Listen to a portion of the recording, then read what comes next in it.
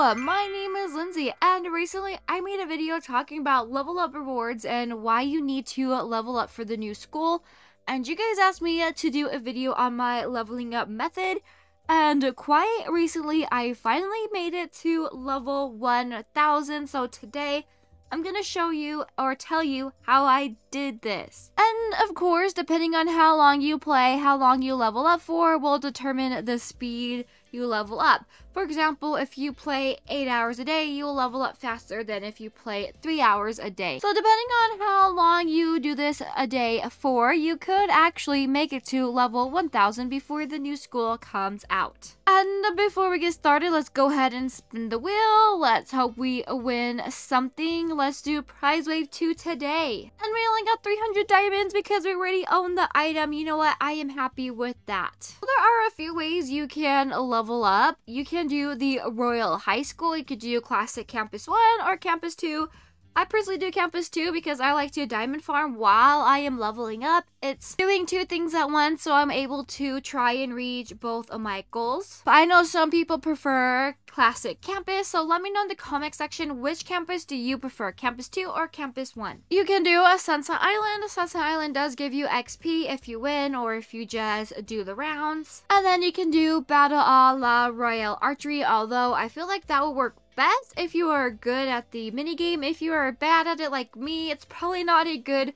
thing for you to do. Probably not a good method to make your main leveling up method, but it is a good alternative if you get bored of the other level up methods just to take a little break from them. And of course, if you do the Royale High Fountain in Divinia Park, you have a chance to win XP. So let's go ahead and go into Campus 2. So I mostly play in my private server, so I mostly do Campus 2 as a result. And if you are going to do school as your main level up method, there are two things you need to know. Make sure you take all of your textbooks to your classes because you do get extra XP for having your textbook. So this is an easy way to gain extra XP. And of course, make sure you do your homework. That also gives you extra XP, which will help you level up faster. So again, if you're going to do school, make sure you get your textbooks and do your homework. And one thing I forgot to mention, sleeping. If you sleep a lot while you are playing, then you can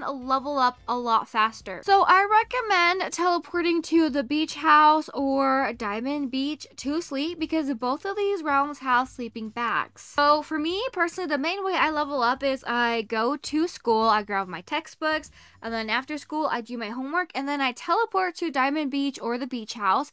I come to these realms, I click on this chair right here, I grab out a sleeping bag, place it down, and then I sleep. Now, I mostly do Campus 2 in my private server, so that way in between classes, I can collect diamonds, and since I'm by myself, all those diamonds are mine. But doing Campus 2 over and over and over does get boring and can burn you out because you are so bored. Now, burnout is something people don't really talk about here in Royale High.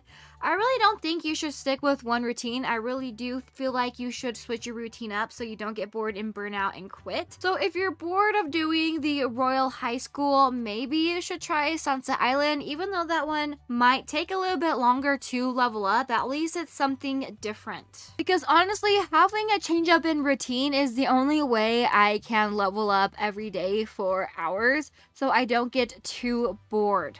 Now, if you're going to do Sunset Island, one thing I recommend is trying to have outfits for the theme saved in your outfit slot. So that way in between rounds you can hurry up and run into the ocean and collect diamonds because I don't know if you know this but diamonds do spawn in the ocean during or in between rounds.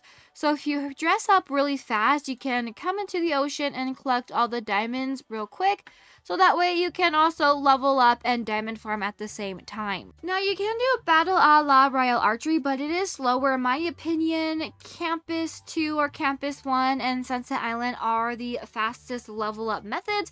But sometimes you need a break from them, so you can do Battle a la Royale Archery. I do that mini game when I am bored and need a break, but I am pretty terrible at it, so I don't get very much XP from it. So let's go ahead and do a round of the Battle Royale archery minigame and see how much XP I get. So I'm going to switch over to a public server. So there is a round currently in progress, so we will have to wait until it ends. Okay, so the round started. I'm not going to show you the round because they're kind of long and I'm terrible, so it's a little embarrassing.